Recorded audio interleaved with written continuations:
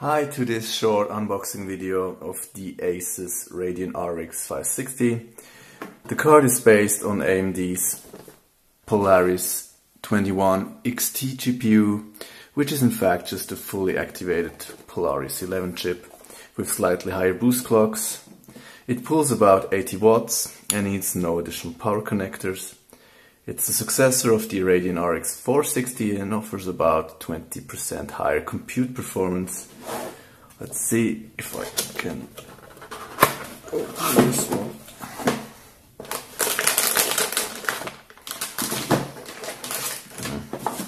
Okay, like always.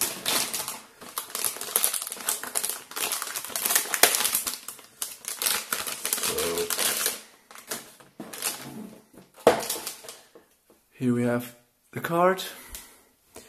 As you can see, it has a dual fan cooler, which is more than enough for this chip.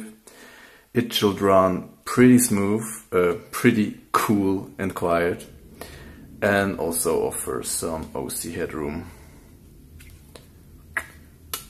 So, plastic shroud, not totally normal, pretty short PCB and yeah, it's not as compact as other cards, but if we compare it with an older R9 280X, it's still okay, I guess. Yeah. Yeah. That's it. See ya.